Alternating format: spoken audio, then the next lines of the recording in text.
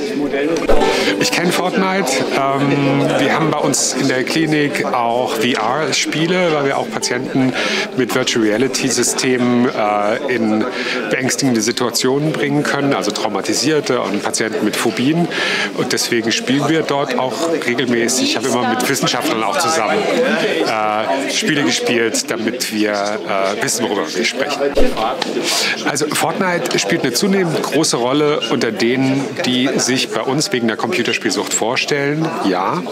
Ähm, und ich, wenn ich Kinder großziehen würde, hätte ich da tatsächlich auch meine Bedenken, wobei ich fast das inhaltliche Problem daran noch gravierender finde. Das heißt, äh, äh das ging mir auch schon bei diesen ähm, äh, Filmen äh, der äh, Tribute von Panem-Reihe so, äh, dass ich tatsächlich ein Problem damit habe, unterhaltsam aufzubereiten, wie eine Anzahl von Jugendlichen die Aufgaben bekommt, sich gegenseitig abzuschlachten. Das finde ich auch bei den Fortnite-Spielen problematisch. Also die reine Spielzeit ist nicht das Entscheidende.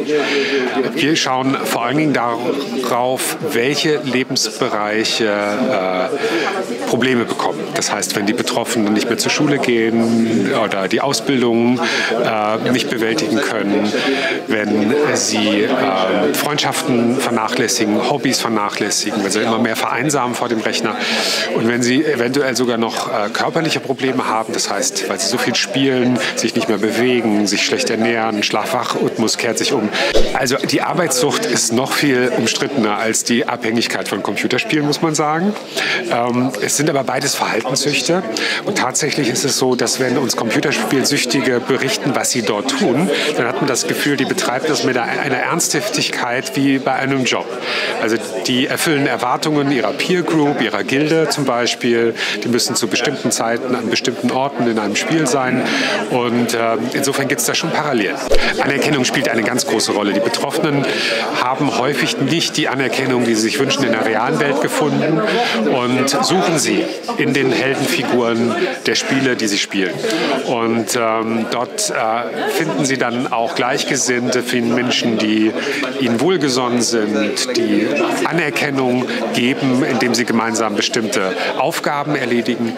Ähm, häufig ist nur so, dass dann am Ende doch ja die reale Welt ein paar Aufgaben auch abverlangt. Äh, und äh, da wird es für die Betroffenen, die wirklich süchtig werden, immer schwieriger, diese Aufgaben zu erfüllen.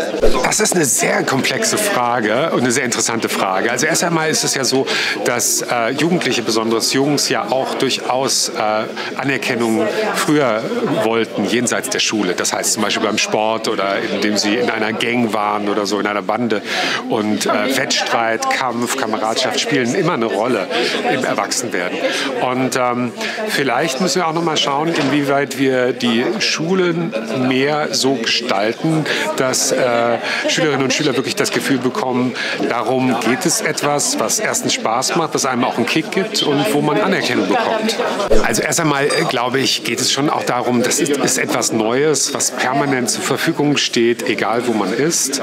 Und Sport zu machen bedarf ein bisschen mehr Aufwand. Also die unmittelbare Verfügbarkeit dieser Kicks spielt, glaube ich, eine ganz große Rolle. Wenn man Sport macht, dann braucht man Zeit, bis man erstmal das gelernt hat, wie es geht. Man braucht bestimmte Geräte, die man ran schaffen muss. Man muss irgendwo hingehen. Und ähm, die Spiele kann man überall machen. Ich glaube, ein Stück weit werden sich äh, bestimmte Sportarten auch wieder durchsetzen und auch Sportvereine. Äh, erstens, weil wir von der Erziehung her da ein bisschen gegenregulieren werden, Kinder und Jugendliche mehr diese Erfahrung auch möglich machen. Ähm, und ich glaube aber auch, dass es eine Gegenbewegung bei den jungen Leuten geben wird. Das spielt eine große Rolle, weil die erste Peer Group, die man hat, sind eben die Eltern und Geschwister. Und wenn man da sichere, wertschätzende Bindungserfahrungen gemacht hat, dann ist die wahrscheinlich groß, dass sich das auch überträgt auf Erfahrungen mit Mitschülern zum Beispiel in der Schule und irgendwann auch im Netz. Ähm, und äh, dann sucht man in der Regel auch körperliche Erfahrungen dort draußen, weil ähm, das Schöne ist ja, dass man äh, bestimmte Erfahrungen wirklich nicht im Netz machen kann. Also zum Beispiel, wenn es um Sexualität geht, um Liebe geht, um Zärtlichkeit geht, Das lässt sich nicht ganz digitalisieren und das suchen im besten Fall Jugendliche, junge Erwachsene auch. Diejenigen aber, die wirklich bindungsunsicher sind, die gehen dann manchmal im Netz verloren. Manchmal in den sozialen Medien und manchmal in den Spielen. Also erstmal, glaube ich, eine Haltung zu entwickeln, die nicht bedeutet, entweder alles zu erlauben, weil man sagt, die machen es ja sowieso, oder alles zu verbieten, äh, äh, weil man selbst Angst davor hat ähm, und denkt, das ist alles böse. Das wäre das, das Erste vielleicht. Das Zweite ist, ähm, dass man sich interessiert dafür, was Kinder und Jugendliche da machen, weil wenn man selbst die eigene Lebenswelt gegen die andere ausspielt, dann hat man ganz schlechte Karten. Ähm, dann kann man den Kindern und Jugendlichen auch kaum die reale Welt so richtig nahe bringen. Und das Dritte ist, ein gutes Vorbild zu sein. Also immer mehr Kinder und Jugendliche haben das Gefühl, die Eltern haben eigentlich kaum noch Zeit oder blicken kaum noch auf, weil sie selbst so viel vor den Medien hängen. Jede Art von Erziehung in dem Bereich muss scheitern, wenn die betroffenen Eltern nicht selbst bereit sind, sich auch zu hinterfragen. Dazu gehört auch der Fernsehkonsum.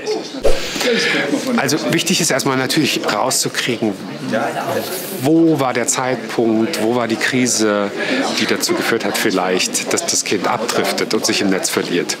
Ähm, und dann zu schauen, wie kann es wieder mehr in der realen Welt Halt finden. Das heißt, die Beziehungsaktivitäten, Bildungsaktivitäten zu erhöhen, zu schauen, gemeinsam etwas zu unternehmen äh, in der realen Welt, also dass das Kind etwas erlebt, zum Beispiel beim, weiß ich nicht, Bungee-Jumping, beim Klettern oder beim, beim Kampfsport, aber sich daran zu beteiligen. Ähm, das ist sehr hilfreich. Und, ähm, aber dann auch zu schauen, habe ich vielleicht zu wenig Grenzen gesetzt? War es vielleicht auch bequem, dass ich mein Kind eigentlich in den digitalen Medien alleine gelassen habe? Weil ähm, wir müssen Kinder, äh, wir schützen Kinder vor den Gefahren in der realen Welt und das müssen wir in der virtuellen Welt auch tun. Grenzen setzen heißt auch Halt geben und da sein. Herzlichen Dank für das wunderbare Fazit. Danke Ihnen.